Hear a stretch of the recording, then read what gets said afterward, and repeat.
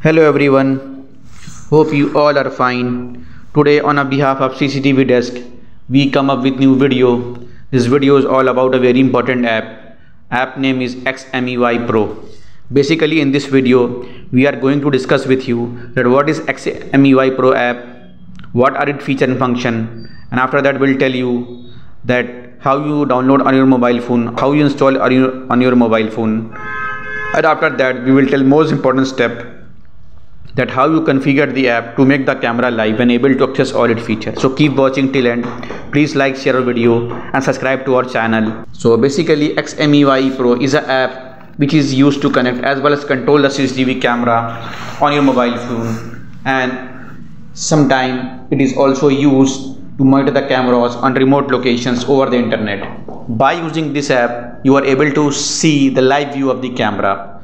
Not only the live view, but you see all the features. Like you see multiple channels at a time. You watch the recording of the cameras you live record of the video.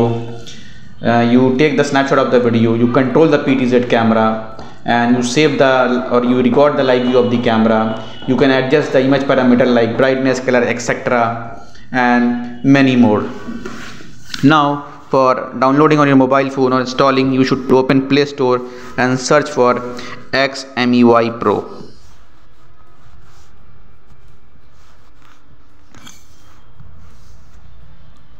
okay?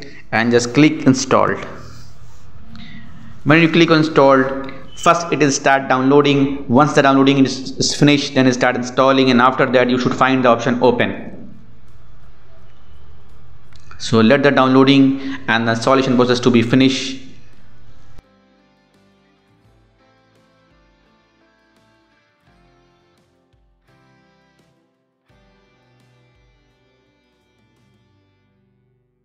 now it start installing. Again it will take a few few second. Once it is once it is installed you should find option open.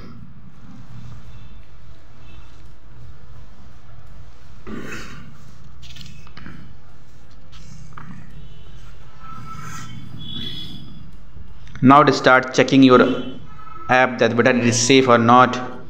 Now it is fine if it's find safe then you should find the option open like this. Just click on open and click on agree. So basically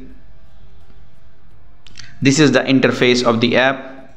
And here you should find the option sign up. So I don't waste time for sign up. You should do by your own if you want to use the app again and again. So I make video just for educational and training purpose. Means so I will explain only those options which is necessary and important. So for this you should find on the bottom of the list you find the option like local. Just click on the local and click agree. It will redirect to your page. It will redirect after login. Okay? So here you should find the option two option. Starting from the top left option you should find the scanner code option. Just click on this. And again click on this. This is a QR code scanner. So basically if you are in front of the device you scan QR code from here. So another question arises where you get that QR code? For that you should log in your device. Device means DVR NVR or IP cam whatever you are using. After logging just go to the option network and try to open for option cloud ID over there you should you should find the option uh, you QR code. Just scan that QR code. And so if you if, if someone send you that QR code you should also access the mobile storage. Like this okay? Now now the now there is a plus icon on the top right corner. Just click on this. And here you should find the option like NVR wired camera Wi-Fi base station Wi-Fi camera so in this way you can add the different types of devices. So in my case I want to add NVR just click on this.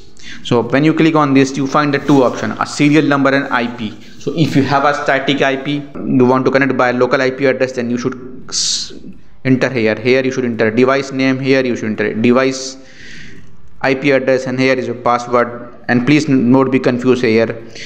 Uh, here it is, a, it is a password of the device. Device means the device you are adding now just go the serial number because I will tell you that how you add by using using a serial number. For that you should put anything here.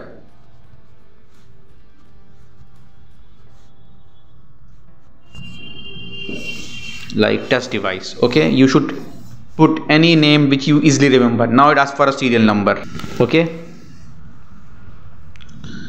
So serial number is the number which again you find after logging your device and go to the network option and go to the cloud option. Serial number here I I should enter my serial number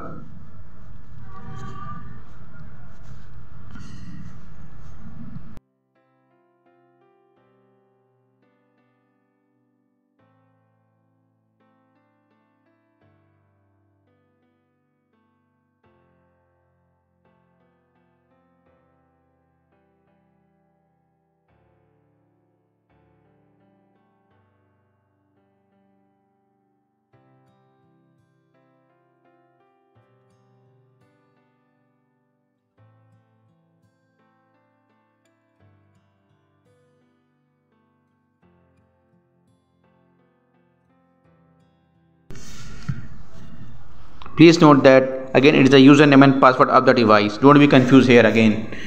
Device means DVR NVR Wi-Fi cam whatever you are adding. In my case I'm using NVR so just I go for the I just use username and password of the device. Click OK. Now you should find that your device comes online. Just single click on the cam. You see all the cam comes online just double click any cam. Your camera comes live. Okay? Just double click any cam to see the live full view of the cam. Now just uh, I will tell you uh, each and every option one by one.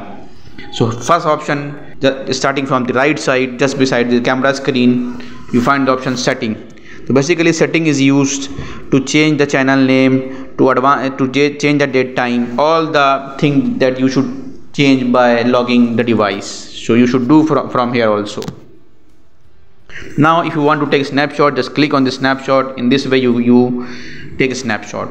Again if you want to record the live view of the screen just click on the record. When you do this you, you see that start recording. Uh, a red color ball is marking and the timer starts. And when you want to stop just click on the stop. And if your camera is audio enabled then then click on this audio. Okay? So in this way you if your camera is audio enabled you want to hear the voice. In this way you see you hear the voice of the camera. And if your device is two-way communicated means then you can do by this.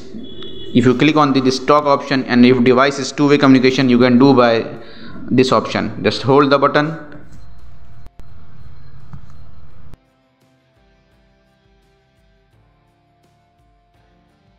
so here you should find the option 1 channel 4 channel. In this way you can change the live view of the camera like this okay? And if you click on the HD SD your camera become little blur and but it's more fluent and it take less bandwidth. When you click on HD your camera become more clearer and you take more bandwidth. And if you want to check the local record of the device means the recording store on the hard drive then you should click on the playback I don't have uh, hard drive so it, it won't show recording but I will tell you show you the, how, the method of doing so. You can change you can take the date time from date here you can select the time from here and just click play button. In this way you can check the record. So if you want to have a PTZ camera and you want to change you want to check it here is the PTZ functions okay? So in this way you can change check the PTZ functions. That's all for this video. Thanks for watching. Thank you. Have a nice day